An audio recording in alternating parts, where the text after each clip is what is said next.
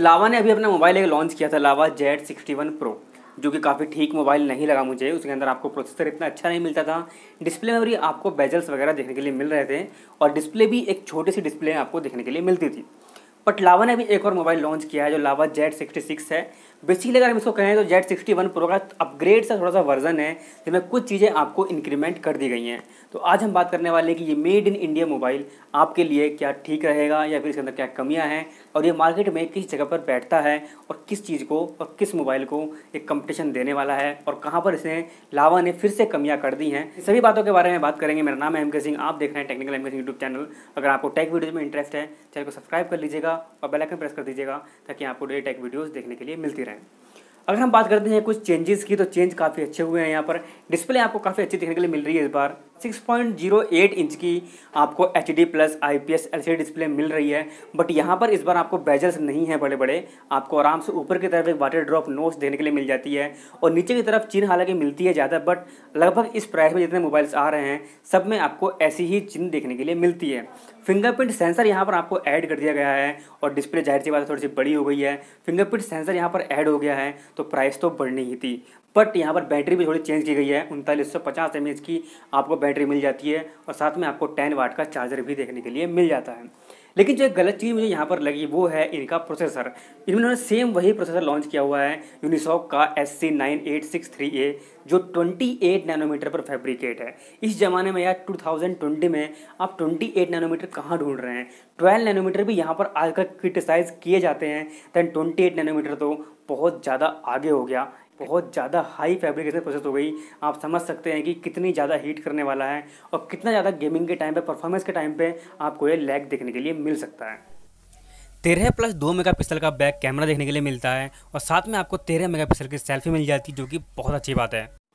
और यहाँ पर आपके बैटरी परफॉर्मेंस भी काफ़ी ज़्यादा नहीं मिलेगी आपको, क्योंकि प्रोसेसर आपका 28 नैनोमीटर का है तो बैटरी बहुत ज़्यादा खर्च आपका करने वाला है। हालाँकि कोर्स यहाँ पर आपको कोर्टेक्स ए फिफ्टी थ्री की है आडो की आडो कोर्स जो आजकल G thirty five G twenty five P twenty two P thirty five में देखने के लिए मिलती है। क्लॉक स्पीड भी आपको चार कोर्स के one point six gigahertz है और बाकी चार कोर्स की जो है one point two gigahertz है।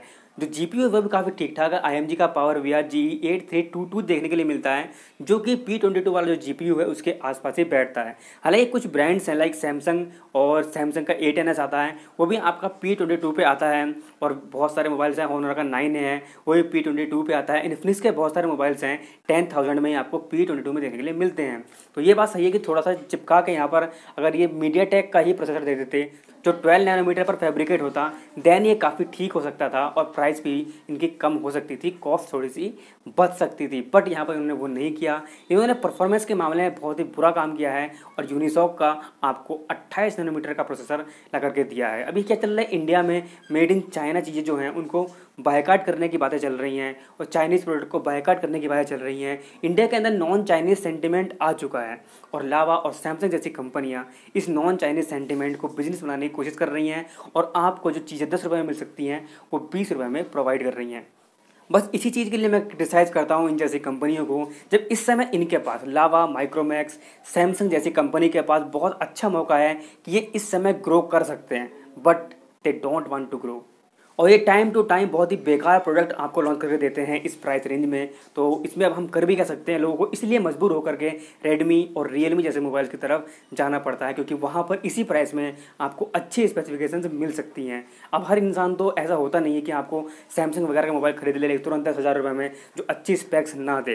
बाकी आप और कोई इंसान होते हैं जो दो हज़ार, तीन हज़ार रुपये एक्स्ट्रा पे कर सकते हैं सेम चीज़ के लिए। दोनों कंपनियों को ये बात ध्यान रखने की ज़रूरत है। इन्हें जो और जगह इन्हें जो और चाइनीज़ कंपनी मार्केट में इस समय दे रही है एटलीस्ट उनसे पाँच सौ रुपये महँगा कर दें बट अच्छा प्रोडक्ट आपको दें देन ये काफ़ी ठीक हो सकता है। बाकी three point five M M jack आपको देखने के लिए यहाँ पर मिल जाता है, और भी इतना कुछ खास है नहीं प्लास्टिक बिल्ड ही है प्लास्टिक की बॉडी मिलती है, इस प्राइस रेंज में आपको प्लास्टिक ही मिलता है, इसके अलावा कुछ खास मिलता नहीं है।